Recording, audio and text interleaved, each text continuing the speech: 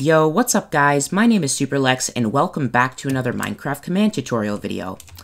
Okay, so in the last video I showed you guys how to teleport to a specific entity, whether it would be a mob or a player.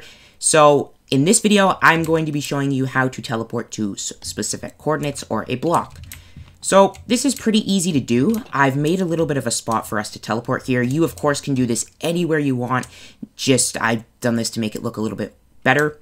So what you're going to want to do, the first thing is place a block over the place you want to teleport. So if you want to teleport on top of this block with your feet sitting there, you're going to want to place a block because if you don't do that, you will be teleported halfway in the ground, and I know it's really dumb. So once you've made sure that you have a block over top of the place where you want to teleport, what you are going to want to do is go on top of the block, and you are going to go into your command, and you're going to say slash set block space, and you're going to tab down to the last option or the third option and you're going to press shift and then control plus C. And you can remember this. I just like copying it because it's a lot easier and more convenient for me.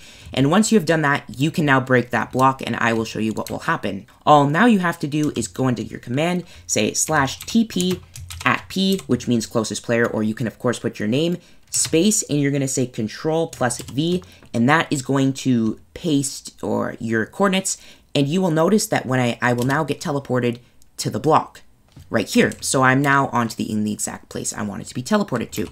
Now, you will notice that when I was teleported, I ended up facing this way, and that is because when I did the command, uh, or when I was typing in the command, I was facing this way. So if you want to prevent that from happening, what you are going to want to do is set your rotation points.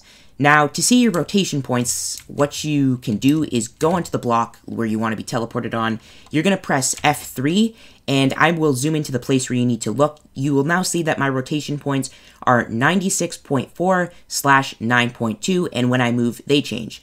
So you're going to want to remember your rotation points. So if I want to be teleported facing this wall 100% of the time, it looks like I my rotation coordinates are minus 90.0 and I think it's going to be 0 for the next one. Now what you can do is say slash TP at P, which is once again yourself, space, uh, paste your block coordinates in, space, and now you can put in, in my case, 90.0 space 0.0.